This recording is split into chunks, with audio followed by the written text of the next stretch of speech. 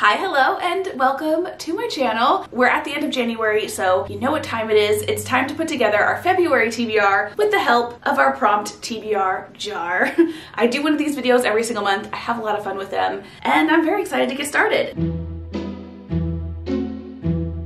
All right, so prompt number one. I'm always like a little anxious with the first one for some reason. You would think after doing this so many times I'd get over it, but no.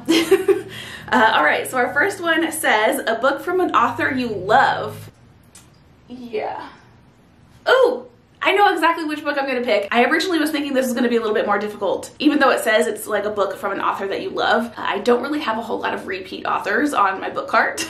and typically when I find a book from an author that I love, it's a series and I just kind of like binge the series. However, I have two series that I'm like kind of in the middle of and I actually just recently talked about this. I've been taking them kind of like one at a time. Uh, so I do have two options for this. So our options are Savage Lover by Sophie Lark and then Powerless by Elsie Silver. If I purchased these correctly, these should be the third book in each of their respective series. Both of the series are like interconnected standalones, so you don't have to read them in order, uh, but they all kind of include the same characters. Basically, each book you get like a different romance involving a different member of the family, but you still kind of get glimpses of the other characters. Uh, and it's just been a lot of fun. I've been really, really enjoying reading these books. So the big question is which one do I choose? I'm very tempted to pick both, but I do have like a big stack of books that I'm kind of saving for like a big collective book haul.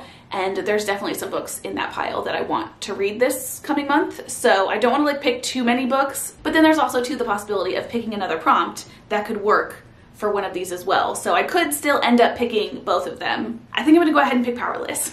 I do like this series slightly more than this one. Uh, and also too as far as like the prompt being picking a book from an author that you love i've actually looked for and added other books from this author to my wish list whereas i haven't really done that with this one yet. So we're gonna go with powerless. I feel like that was so long of an explanation for picking this book. So sorry. Uh, so there's our first book. Prompt number two is going to be let's pick that one. Oh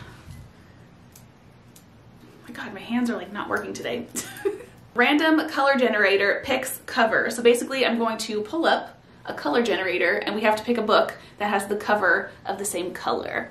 Very simple. Where is my phone?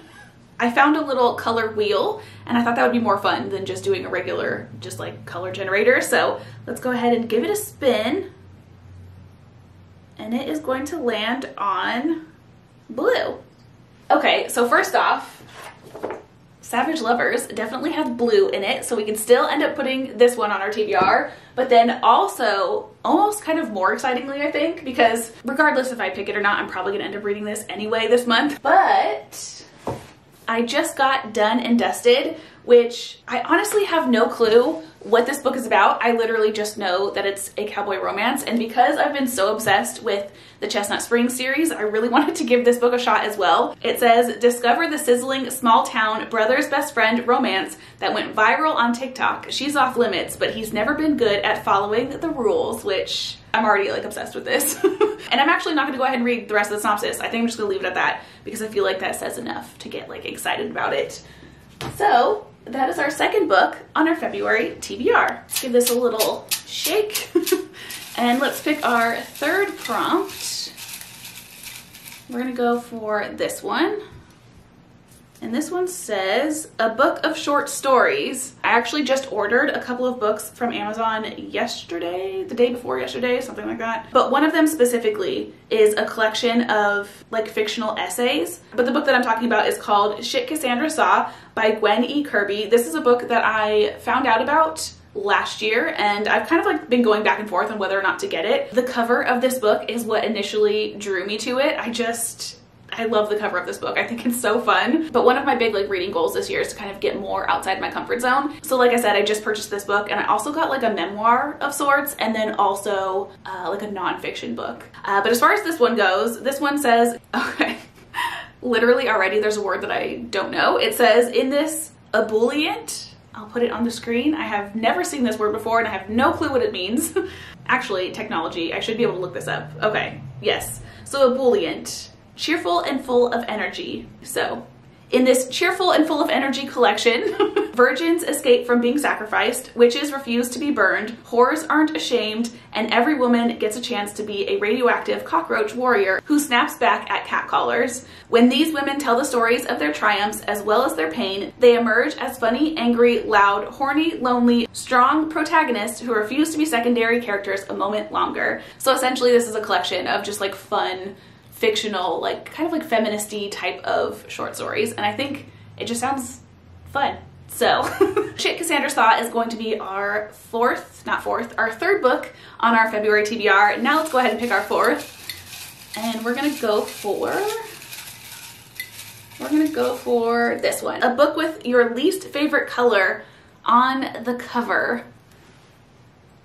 My least favorite color. Well, honestly, my least favorite color is orange. And funny enough, the only book that has even a little bit of orange on it is this one, and I actually love this cover. it was the whole reason I bought this book. Um, and this one is essentially a whodunit murder mystery uh, where Sister Holiday, a nun, is trying to solve a murder. So it definitely sounds fun.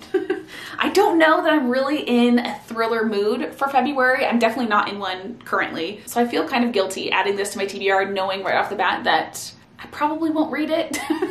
but at the same time, I do think the second book in the series is coming out in March, if I remember correctly. So it would kind of be perfect to read this in February. So we'll just go ahead and put this one on our TBR for now anyway, and just hope for the best. All right, so now we are on our fifth and final prompt. Let's see what we get. Oh, okay, one just like shot out of the, the jar and smacked me on the shoulder. So let's go ahead and pick this one because it clearly wants to be picked. A book with flowers on the cover. Ooh, that could be fun and totally fits in with February. Love it. So this one kind of has flowers. This is Playing Bad Heroines. It's essentially a murder mystery uh, set in kind of like an academic setting. Ooh, to Kill a Shadow has flowers on it. On the back of the book, it has a quote that says, In a world of darkness, become the nightmare. And I love that. So this is definitely a strong contender. This one also has some flowers, but I've said this so many times, I need to read Caraval first. I know I don't like have to, but I would like to. Uh, nope, no flowers on that one. No, no. There is also the option of The Scarlet Veil, which is essentially the spin-off of the Serpent and Dove series, which I literally just finished reading last night. And originally my plan was to read this right after that, but I read the synopsis for it and I'm a little nervous about it because I feel like one of the characters that we grew to love in that series is gonna get burned in this one. And I'm I don't think I'm ready for that. In general, right after I finish a series, I'm already already sad because I feel like I'm like never gonna see my friends again. So I don't wanna then jump into a book to see my friends and see one of them get hurt, you know? I know I'm being very dramatic, but I, I think I need some time before I get into this one. I definitely still wanna read it. I just need some time. and I think that's really my only other option. So we're gonna go ahead and go with To Kill a Shadow.